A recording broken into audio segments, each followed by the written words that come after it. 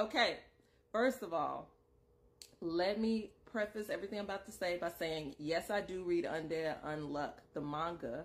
Um, I'm not caught up with the current four chapters because I don't read manga week to week. I binge it every four to six weeks. So I have to catch up on these most recent chapters. But that being said, we will I will not be dropping any spoilers in this. So anime only for Undead Unluck, you are more than welcome.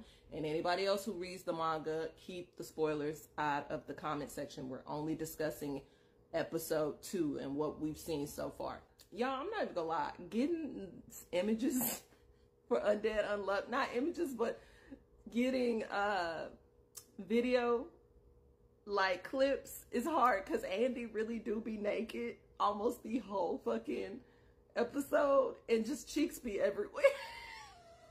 so bear with me if I, you don't have as many, if with the undead unluck content, you don't get as much like, like scenes, like animated scenes, because it's real hard editing that shit. Um, number one though, I'm gonna have to go ahead and say for accuracy within the manga, 10 out of 10. 10 out of 10. The only things they left out, which were not important, was Fuko hitching that ride over to the demolition site and the demolition guys uh, blowing up the building while Andy and them was inside of the building and like chanting like no unrealistic schedules or whatever. So again, nothing really big that I would even complain about. Other than that, David David Productions was on it, okay? So we got to meet Shin, y'all. And y'all, Shin's such a fun guy. And he was so perfect. He's everything I thought he was in my mind reading the manga. He's adorable. He's precious. I love Shin. His personality is just, it's so great.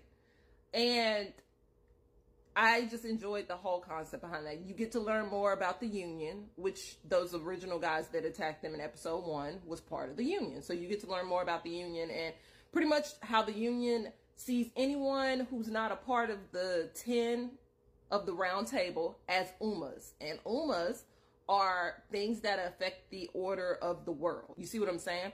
So you also get to learn a good bit more about the power system because I've raved about this power system since I started reading Undead Unluck. It's such a great power system. It's easy to follow, but it's so fun and unique because again, as you witness in episode two, how you understand your power and the rules of your power are crucial to how you fight with it or how you end up losing as we witnessed with Andy using his uh his finger bullet to fucking end unavoidable. And it's gonna, you're gonna continue to learn more about the power system as the series goes on, but that's a good little starter, right?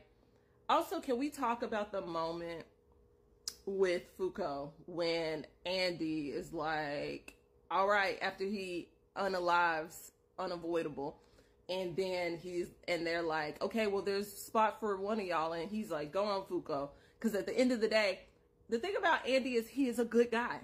He is a gentleman, whether you believe it or not, and the, at the end of the day, Andy's like, you go with them, you take a seat because at the end of the day, I'm undead.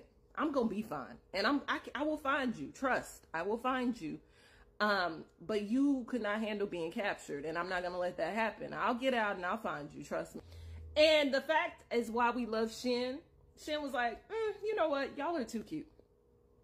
It would be a crime to separate y'all. Tell you what, go try it with somebody else. See if you could beat one of the other members of the round table of the union. Not me, but if you do beat them, I'll put in a good word for you and y'all both can join. And again, that's just why I love Shin. Like he's so self-serving in a lot of ways and you will find out more about that and him as you keep going.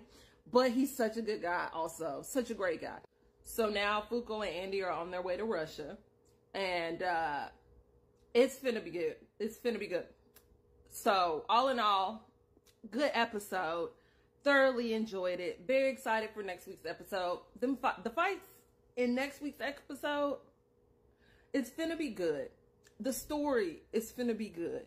So just stay tuned because baby, I'm gonna be doing this these recaps for Undead Unluck all season.